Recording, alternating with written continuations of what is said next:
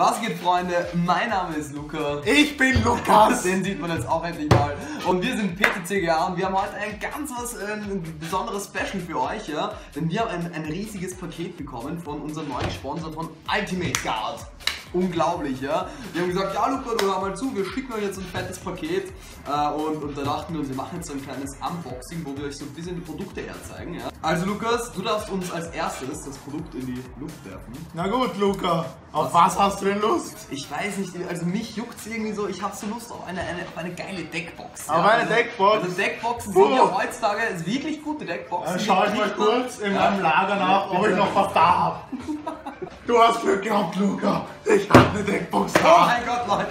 Also wir haben hier eine Deckbox zugeschickt bekommen. Das ist nicht nur so eine Single-Deckbox, ja. Das ist hier eine tatsächlich mit dem schönen Brand Ultimate Guard, ja. Flip and Tray steht da drauf, Lukas, was sagst du dazu? Hm? Boah, da flippe ich gleich aus. Ja, ich würde sagen, machen wir die mal auf. Machen wir die mal auf. Machen wir die mal auf, ja. Ähm, mhm, also wenn du hier, also schon beim Aufmachen, ja, sehen wir schon hier, mh, edel, edel, ja. Ist das Leder? Ich glaube, ist das echt Leder? Ich weiß nicht. So Leute, also das hier, äh, wie man hier auf der Verpackung erkennen kann, ist das so als Tower gedacht, dass man das Ding so aufstellt. Also wenn jetzt mich nicht meine Sinne täuschen, ist hier so ein Magnetverschluss. Und dann tatsächlich ist das jetzt hier ein schöner, äh, schön grau, schöne Innenseite, eigentlich ganz gut. Ziemlich geil. Wirkt auch kompakt. Soweit ich das jetzt richtig verstanden habe, kann man hier zwei Decks reingeben. Und hier kommen dann die Würfel und alles rein. Und das nimmt man dann alles so raus. Ich habe hier so ein paar Würfel. Ja. Nice Würfel. Mhm, genau, ganz nice. Legen wir da mal alles rein. Auf geht's. Ja, ja. Okay. Also natürlich ist jetzt die, die Frage die, ob sich das irgendwie vermischen wird oder ob das aufgeht. Das können wir dann im Belastungstest machen. Also wird das jetzt mal reingesteckt hier. Hier wunderschön jetzt mein Deck mit den rosa Sleeves, das schlägt sich in inner, wobei schaut eigentlich eh ganz cool aus. Äh, Gebe ich das jetzt hier irgendwie rein und dann mache ich das zu, würde ich sagen. Oder? ja, ganz Okay. genau. Schütteln wir mal ein bisschen. Ja. Wie das so in der, in der Reisetasche halt abgeht, ja, fliegt das ein bisschen um. Und wir sehen sogar bei einer extremen Belastung hier. Ziemlich extrem, weil Ja. Luca ist schon ziemlich stark. Das geht einfach, also die Magnete, Ja. die halten schon. Also ich muss mich auch eigentlich ein bisschen anstrengen, dass ich das hier aufkriege. Und wie wir sehen, tap!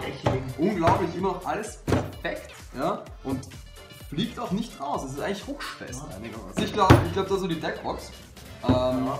überzeugt mich jetzt im Test. Sehr. Ja, finde ich auch gut. Werde ich auf jeden Fall, werde ich auf jeden Fall bei den nächsten Turnieren verwenden. Mhm. Ja. Gut. Wir haben auch mehrere Farben bekommen und ich glaube, grün gefällt mir echt ganz gut. Vielleicht nehme ich mir drauf. Ja, Aber mal. schauen wir mal. Gut, also Lukas, auf was hättest du denn jetzt Lust? Das Alter. ich im Lager nach. Boah, schau bitte im Lager nach. Ja. Ob. Weil weißt du, was mir wirklich fehlt? Oh, was denn, was denn? Mir fehlen Schutzhüllen. Schutzhüllen? Ja, Na, da muss Schutzhüllen. ich erstmal muss ich erstmal runtergehen in den Keller. Ja, geh mal in den Keller runter. Oh, ich habe hier was gefunden. Fang. Wow, das war ein Catch. Ja, Also, wir haben hier auch äh, Sleeves bekommen, matte Sleeves. Ähm, und das Coole an, was ich schon mal super sympathisch finde, ist, dass hier einfach 80, was, was Ja. war das? 80 Sleeves, ja. sehr gut. Dass man, man kauft sich eine Packung und da sind 80 Sleeves drin, ja. Und das ist halt für Kartenspiele gut wie Pokémon oder wie Magic, ja. Weil diese Ultra Pro, ich glaube das sind der Ultra Pro, wo, wo 50 Pro drinnen sind, dann musst du dir halt immer zwei kaufen. Das ist halt ein bisschen suboptimal. Und wenn du dir jetzt hier so 80er Packung kaufst, hast du halt genug Sleeves extra. Wir probieren jetzt hier einfach mal ein bisschen. Ich, ich stecke jetzt hier ein schönes Elektro-Pokémon Gelb auf Gelb, zu den ja. Farben. Elektro auf Elektro. Ähm, ich bin ja eher der, der Matte-Sleeve-Fan, weil ich finde, Ja, das, ist auf jeden Fall das Ganze besser. schaut dann echt angenehmer aus. Es glitzert da nicht so komisch rum. Also wenn man sich die jetzt, wenn man die jetzt sich so in die Hand nimmt hier, also man, man merkt schon, auch hier so, wenn man reißt, da geht eigentlich nicht so leicht was kaputt. Man, man sieht das Logo sehr schön durch, finde ich, bin ich auch ein Fan davon. Ja, Ähm, darfst halt nicht schummeln. ja, genau, probier du das doch mal aus. Ich mach das auch mal. Ja. Ja, ist schon ziemlich gut.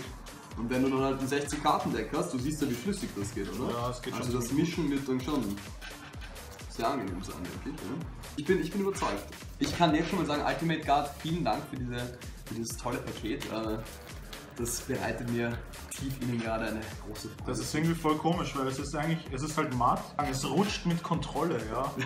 Ja, weil es, es, ist, es ist irgendwie, es geht halt leicht, aber du hast nie das Gefühl, dass du den Halt verlierst.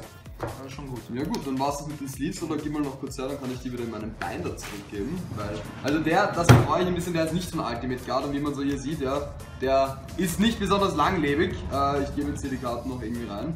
Tu das. Aber wer weiß, vielleicht kriegen wir. Du hast aber wenige Pokémon-Karten. Ja, ich habe ich hab nur, ich habe meine ganzen Pokémon-Karten an einen guten Freund verkauft. Ja, Ah. Shoutouts an den Marc. Ja, hallo Marc. Ähm, also, ich weiß nicht, ich, ich habe schon öfter, ich will das hier die zwei, also ich muss echt mal Ultimate Guard äh, ähm, Binder auch ausprobieren, weil ich glaube, dass die langlebiger sind als dieses Ding hier. So, Lukas, ab ins Lager mit dir, weil wir haben noch etwas Dann übrig, geh ja? ich mal wieder ins Lager. Was brauchst du denn?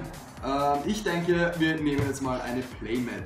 Warte, es liegt im anderen Regal, da brauche ich ein bisschen. Achso, danke, ja, ja, bemüht sich jetzt. Währenddessen kann ich euch ja unser liebes Publikum unterhalten. Ihr habt schon. Ah, das ja. Ja, da, ja.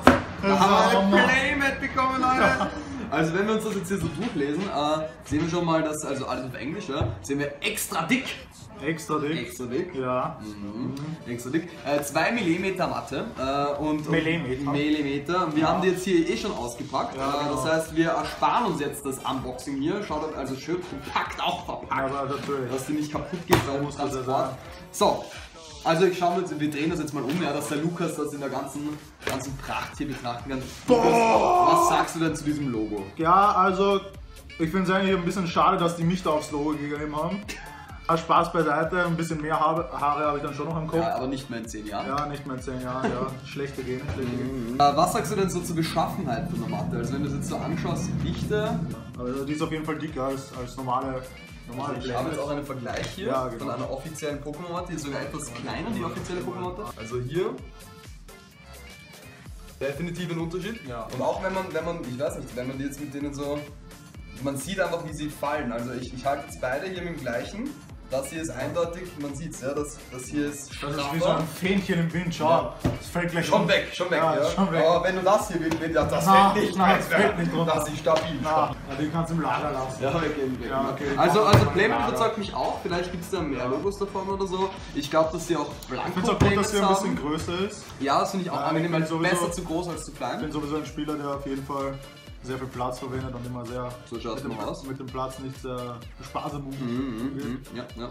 Ja. Also da für diese Playmat gibt es eigentlich auch eine positive Rezession. Ähm, werde ich auch auf jeden Fall auf meinem nächsten Turnier in Letzten verwenden. Na Auf den meisten Stellen hat man dann cool Platz für irgendwelche Unterschriften von Ja, bekannten genau. YouTubern wie Lukas Schuster oder Lukas Peer oder Matthias Michel. Ja, oder unserem Bro, den, den Fatih, ja. Also natürlich. Grüße gehen an den Fatih hier raus. Oder natürlich Maximiliano Pugliese, aka ja. Pokemaxi TCG. Maximann. Kann man da alles draufhauen. Das hauen wir euch natürlich auch alles in die, in die Description. Genau. Ich hätt, jetzt muss ich wirklich sagen, auf eine Sache, jetzt fehlt mir nur noch eine Sache, ja, auf die hätte ich wirklich Oh Lust. Gott, jetzt kommt's. Jetzt, auf die hätte ich wirklich Lust. Und weißt du, das ist, ich habe mir schon immer gedacht, Schmuck ist doch was Schönes, ja. Accessoires sind mir schon wichtig. Hat Ultimate Guard auch irgendeine Art Accessoire für uns, Luca? Ja, Lukas, lass mich das mal im Lager nachschauen. Ja, ich, Ah, ich, ich lass dich kurz nachschauen. Alter, das ist das. Boah, das gab's nicht. Hier, Frostika-Hüfte, Ja, ne? das geht Ja, passt. Ich hab's, ich hab's. Okay, er hat's, er Boah, hat's. das war jetzt aber Er hat anstrengend. es. Da, ich habe tatsächlich was gefunden, Leute, und zwar Geil! Armbänder in allen möglichen bunten Farben. Das war natürlich, um, um ein bisschen Werbung zu machen, auch für Ultimate Guard, dass wir zeigen können, dass wir gesponsert werden von denen. Äh, ich finde, das sind eigentlich alles unterschiedliche Farben, bis auf die beiden Orangen. Ja, zwei schwarze Und die zwei schwarze auch noch. Ja. Die wilden Kerle, ja. Was? Achso, ja, Ja, stimmt wilde natürlich. Kerle, schwarz-orange. Äh, zum Beispiel, ich finde jetzt dieses, dieses Türkise hier sehr, sehr passend, weil das passt eigentlich ganz gut zu meinen, zu meinen restlichen Armbändern hier äh, an der Hand. Und ja, damit werden wir dann natürlich auf der Weltmeisterschaft rumlaufen, um schon, ja. unsere Teamzugehörigkeit zu zeigen und mit welchem Equipment wir ausgestattet sind. Was sonst? Na gut, ähm, also, was ist so dein Eindruck von den Ultimate Guard Produkten? Ja, sieht auf jeden Fall ziemlich äh, qualitativ hochwertig aus. Ja, ja. Und ja, ich freue mich schon, sie in Aktion zu testen. Es ist ja bald soweit, Leute. Bald ist die Ja. Weltmeisterschaft. Bald fliegen wir in neun Tagen. Ist es In neun Tagen Nur fliegen? neunmal schlafen. Alle, wir freuen uns schon. Uh, Uh, freuen uns schon. Ja. Wir nehmen natürlich das ganze Equipment mit und ähm, ja, dann könnt ihr das auch vor Ort äh, euch anschauen, wie das so aufgebaut ist und alles mögliche. Ja, ziemlich reißfest auch noch. Hm? Natürlich. Wahnsinn. Na gut, Leute, ich glaube, das war's von uns. Ich glaub, das war's wirklich, Das ja. war's. Im, Im Lager, ich, ich habe jetzt nochmal Ja, nachgedacht. schau noch mal kurz nach. Ja, ja, wieder nach, weil da ist leider Ah, nichts ist mehr. nichts mehr. Also wenn euch Videos dieser Art gefallen, so Unboxings oder Vorstellungen von irgendwelchen Materialien, was auch immer, äh, dann, Dann müsst ihr Ultimate Guard anschreiben, dass sie uns mehr zuschicken. Ja. zum Beispiel das. Oder ihr gebt uns ein Thumbs up, ja, und lasst ein Abo hier auf unserer Seite. Wir werden uns darüber freuen äh, und schauen, dass wir euch in Zukunft noch mehr von solchen, wie sagt man das, Product Openings, Einfach Unboxings von Zeug. Unboxings, ja, irgendwie. Wir können ja auch, Unboxing wenn ihr. Bock habt, können wir unseren Competitor Back auf, der, auf den Worlds unboxen. Das werden wir machen, das Da, hört sich gut an. da ist ja auch immer ziemlich viel. Haut mal ein Zeug Hashtag Unbox das Zeug in die Kommentare. Unbox das wenn Zeug. ihr das wollt. Ja, das war's von unserer Seite. drin. Ja, eigentlich schon. Tschüss und Baba. Tschüssi.